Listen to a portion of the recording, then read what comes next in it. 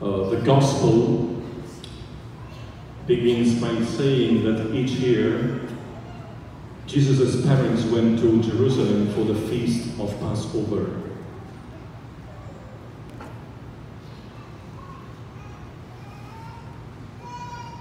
Every year, the parents of Jesus went up to Jerusalem for the feast of Passover.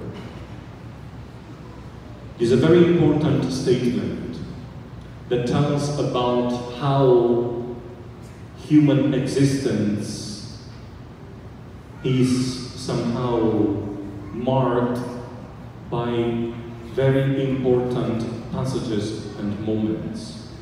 One of the fundamental aspects of humanity, I'm not talking about religiosity, this is for all human beings. You can be religious, not religious, Christian, Muslim, atheist.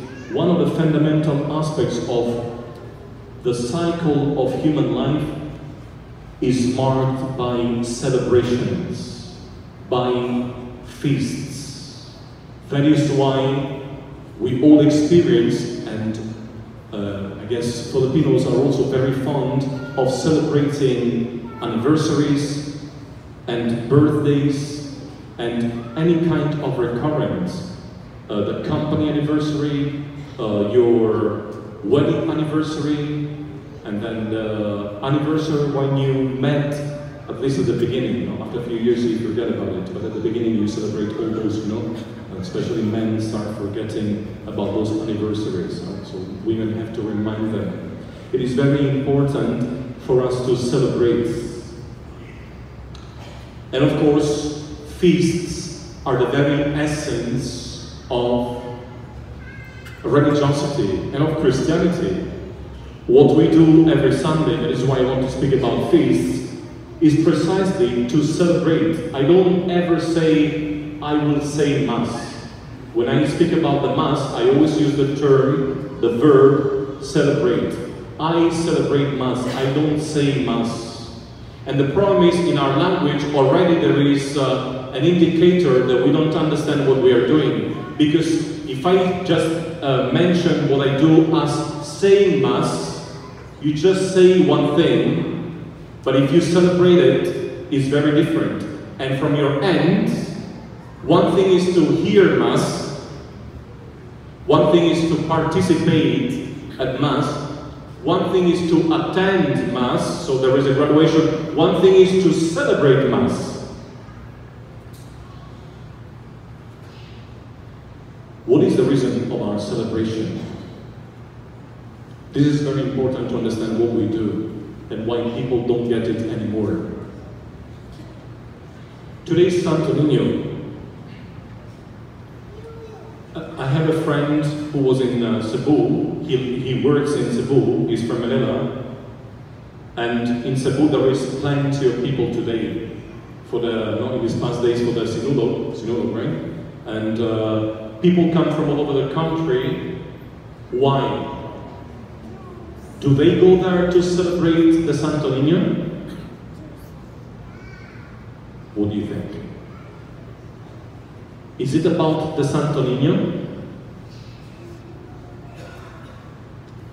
This friend of mine told me, I was there in my car, and uh, during the parade, so many people stormed by my car with all their hands dirty with paint. The whole car was covered with uh, handprints. And I tried to have it washed, but unfortunately it didn't work. So he had to have the whole car repainted. Pit, Senor.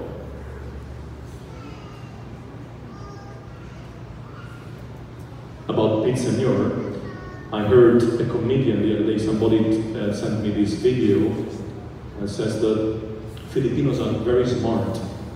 They have lots of feasts. And he says, I go every year to Cebu because in Cebu there's a lot of partying going on during the Sinulog. I always get really, really drunk, but I get drunk in honor of the Santo Niño.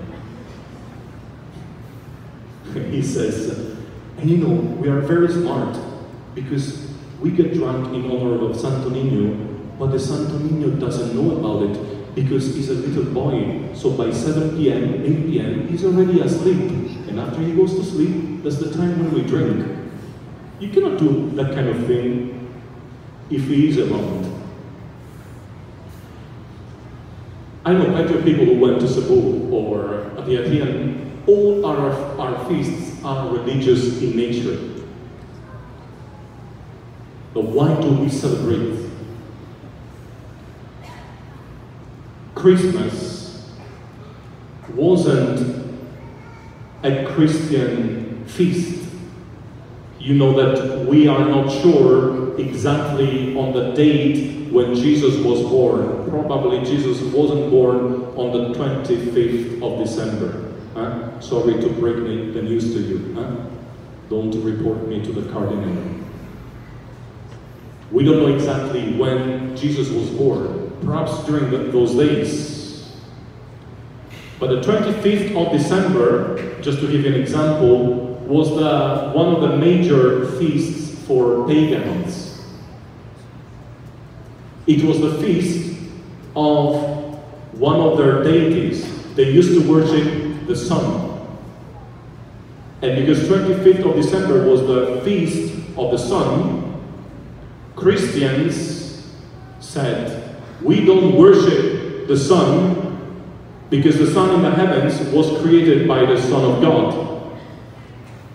So we worship not the sun as an element, we worship the Son of God. And so Christmas came to be as a feast on the 25th of December. From a pagan feast, we transformed it into a feast of faith.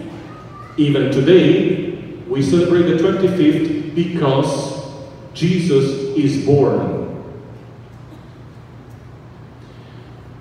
This is important for us to understand because what is happening now is instead that we are going back to paganism.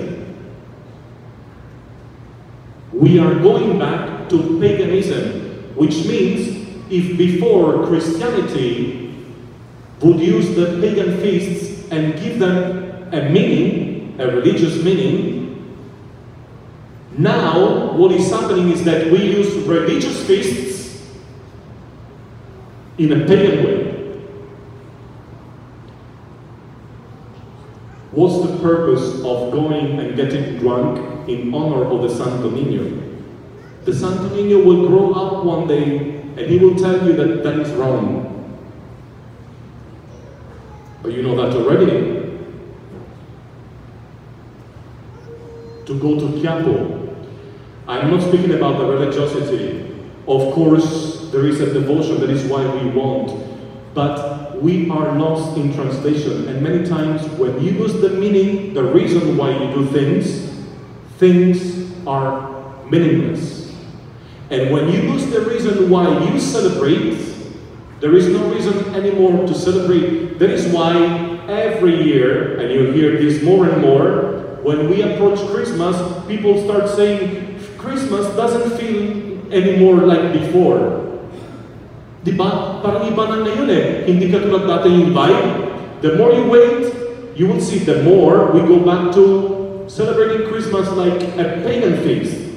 Few years back in London, in a preschool, they were making Christmas cards with Mary, Joseph, and the baby Jesus, and some of the children asked the preschool teachers, why are we drawing these characters? Who are they? They were Christmas cards. Why am I saying all this? It is important for us to know why we are here and why we are celebrating this feast. Because I don't know about you, but I can tell you something.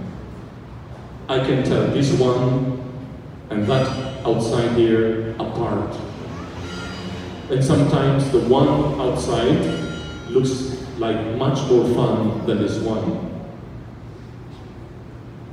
Looks like, feels like it is not. That is why I decided to become a priest. That is why I am proud to be a Catholic, because this is the only place where I really celebrate life. And really, is the only reason to celebrate life. Everything else after a while, after a while would be very disappointing. And so you ask yourself today, do I have a reason to celebrate Christ in my life? The first reading of today says that everyone rejoiced because a child is born for us. Can you find reasons to rejoice in God? Can you find reasons to celebrate Him?